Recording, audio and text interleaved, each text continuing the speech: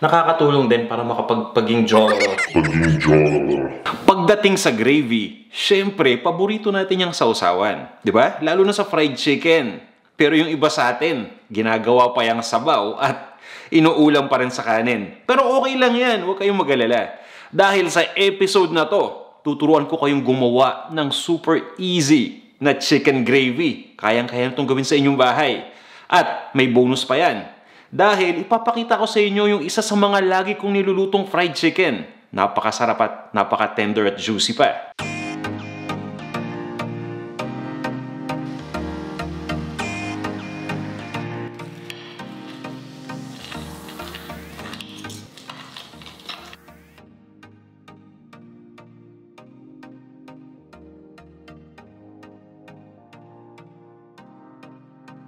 Welcome sa Panlasang Pinoy. Ako po si Vanjo Merano at para sa araw na to, ipapakita ko sa inyo kung paano gumawa ng chicken gravy. At syempre, gawin na rin natin yung isa sa mga paborito kong tender juicy fried chicken. Ito ang buttermilk fried chicken. Kaya kung handa na kayo, tara na! Umpisa na natin to! I-prepare muna natin yung manok. Ilalagay ko lang lahat ng mga marinade ingredients. Naglagay na ako ng asin, ground black pepper, paprika, garlic at onion powder. At eto naman yung buttermilk. Hahaluin ko lang itong mabuti. At once na mahalo na, kumukuha lang ako ng plastic wrap at tinatakip ko lang dito sa ating bowl. Kailangan pa natin kasi itong i-refrigerate ng at least 8 oras bago natin lutuin. Kaya ilalagay ko muna ito sa refrigerator. And after 8 hours, pwede na nating iluto yung manok. Itong nakikita ninyo ang ating breading. Pinagsama ko lang yung harina, paprika, onion powder at asin. At pagkatapos yan ay hahaluin ko lang itong mabuti. At once na mahalo na, magpapainit lang ako ng mantika. Habang umiinit yung mantika, ire-ready na natin itong manok. Kukuha lang muna ako ng isang perasong manok. At tandaan ninyo ha, hindi natin kailangan banlawan pa ng tubig itong manok. Kumukuha lang ako ng isang peraso at pinapatulo ko lang yung excess na marinade. At ididiretso ko na to dun sa bowl kung nasa yung ating breading ingredients. Ididredge lang natin ito sa ating breading. Siguraduhin ninyo na na-cover na yung buong manok ng ating breading. At gagawin natin itong same step dun pa sa ibang mga chicken pieces. At ready na tayo para iprito ito. Ang pinaka-ideal na temperature ng mantika ay 350 degrees Fahrenheit. So kung meron kayong cooking thermometer, mas okay yan.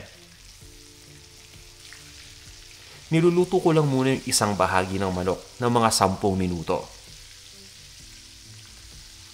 At makalipas ang 10 minutes, ibabaliktad ko naman ito para yung kabilang side naman yung maluto. At ang maganda dyan, habang niluluto itong unang side ng manok, saktong-sakto lang yung oras na yan para gawin natin yung gravy. Ganyan lang yung kadali at kabilis. Sa paggawa ng gravy, inuumpisan ko sa butter. Tinutunaw ko muna yung 3 tablespoons ng butter sa isang cooking pot o sa isang saucepan mapapansin nyo bubula muna yung butter. At once na tumigil na yung pagbula, pwede na nating ilagay yung harina o yung all-purpose flour. Pagdating naman sa paglagay ng harina, dahan-dahanin lang natin habang hinahalo mabuti yung mixture. So ang ginagawa ko, one-third muna ng mixture at a time. So yan, ilalat na natin yung harina. At itutuloy ko lang ang paghalo at ang pagluto. Ang gusto ko mangyari dito ay mag-brown yung kulay nitong mixture. Kaya huwag nyo sanang tigilan sa paghalo. So konting tsaga lang to, total mabilis lang naman gawin itong gravy. Makalipas ang between 3 to 8 minutes, no? Depende yan sa apoy na gamit ninyo. Makikita ninyo na nagbabrown na yung gravy. Nakatulad nito. So once mangyari yan, kukunin na natin yung magpapalasa at magpapasarap dito sa ating chicken gravy.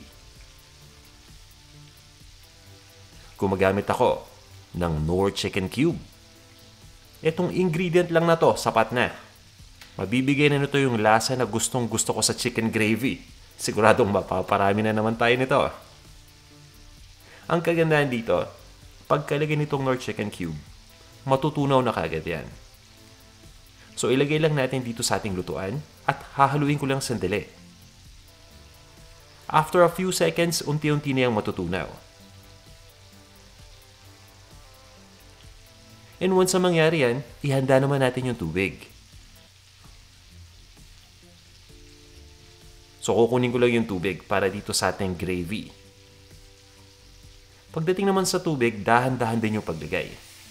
Huwag nating biglain kagad. At syempre, importante, yung constant natin na paghalo.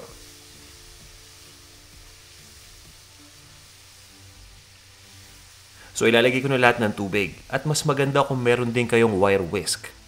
Nakakatulong kasi yung wire whisk para mas maging smooth yung texture nitong gravy habang hinahalo. Mapapansin niyo habang tumatagal, unti-unti nang lumalapot itong gravy natin. Maglalagay lang ako ng konting pampalasa pa. Ito na yung onion powder. At naglalagay din ako ng garlic powder pati na rin ang ground black pepper. Yan, at hahaluin lang natin ito mabuti. At mapapansin ninyo, no, habang tinatagalan natin yung pagluto sa gravy, lumalapot pa to. So pwede natin tong palabnawin pa sa pamamagitan ng pagdagdag lang ng konting tubig.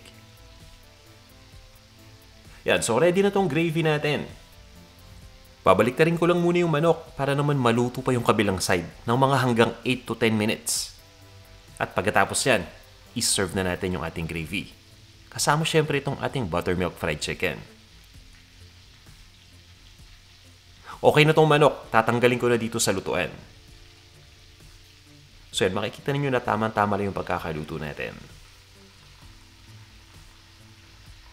Ililipat ko lang muna itong mga chicken pieces na naprito natin sa isang plato na may paper towel nang sa ganun yung ma-absorb yung mga excess na mantika.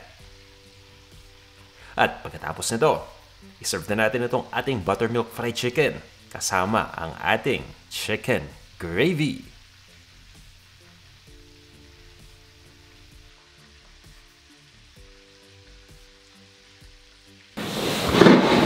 Okay, ready na to. Ililipat ko na yung gravy. Diretso na natin lahat. Nakita nyo naman, di ba? Ang daming nagawa nating gravy. Pwedeng pwede itong isabaw. Yan, tabi muna natin dito. At itry na natin yung chicken. Para nang sa ganun, kasi actually, pwede ko itry yung gravy na yung gravy lang. Siguro, yun muna yung gawin natin. And then, itatry natin yung gravy na may chicken. So, kuha man tayo ng gravy. Yan. Tama-tama lang yung consistency nito para sa akin. And again guys, ah, pwede kayong mag-adjust ng consistency. Kung gusto niyo na mas malabnaw pa, magdagdag lang kayo ng konting tubig. Kung gusto niyo malapot, lutuin niyo lang ng konti pa hanggang sa lumapot na talaga. Yan. So, tikman ko na itong gravy. Mainit pa pero kaya. At sarap ang lasa. Ito yung actually pwede mong isabaw sa kanin. Parang inuulam mo na dahil sa sobrang lasa niya. Nako. Okay na okay na to. Pero syempre, di ba, mas masarap ang gravy kapag gagamitin natin siyang sausawa ng fried chicken. Kaya yun naman yung susubukan ko ngayon. Makita naman itong ating simpleng buttermilk fried chicken. Hindi nyo kailangan gumawa ng chicken version na ginawa ko na katulad nito ha. Kahit regular lang yan na piniritong manok, okay na okay na rin yan. Sasarap na yan dahil sa ating gravy.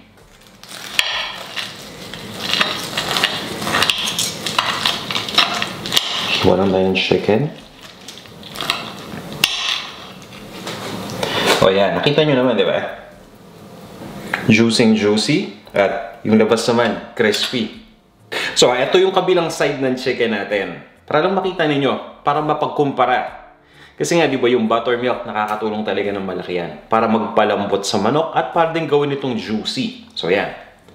So, ito na yung ating juicy na buttermilk fried chicken. Since ako lang naman ang kakain nito, didiretso ko na dito. Na isaw-saw.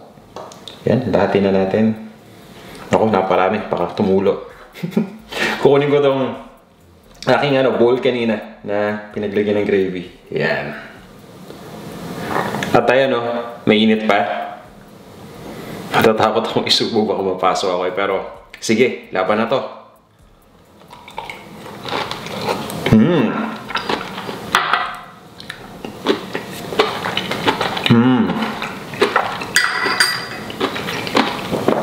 Grabe ang sarap. Yung mga pagpasalita sa sarap eh. Mm. Nakatulong ng malaki na magpasarap sa chicken. Yung ating chicken gravy. Siyempre naman itong chicken gravy natin, napakadali nang gawin, napakalasa pa. Pero yung buttermilk fried chicken din, ano? Although hindi siya yung star ng video natin, well, gusto ko lang sabihin sa inyo na napakalasa ng manok at napakalambot at talagang napaka-juicy. Kapag pinaghalo mo yung manok at saka itong ating chicken gravy, nako, perfect combination talaga. Kaya sana subukan nyo itong ating recipe. Nakita nyo naman kung gano'n lang kasimple. Para naman matikman ninyo yung sinasabi ko. At para rin syempre hindi kayo ma-miss out. Ayan. At maraming salamat sa inyong lahat sa pagload ng video na to. Kung meron kayong mga katanungan, suggestions o feedback, mag-comment lang kayo. At inimbitan ko kayo na i-follow ako sa Instagram. I-search na lang Panlasang Pinoy. At bisitahin nyo rin ang ating website o ang ating food blog. Nandyan lahat ng mga recipes na fini-feature natin dito. Yan ang panlasangpinoy.com. Maraming salamat ulit sa inyong panonood ng video na to. At huwag kayong magsawang tumangkilik sa Panlasang Pinoy. Eh. Magkita-kita tayo sa ating susunod na video. Hanggang sa muli.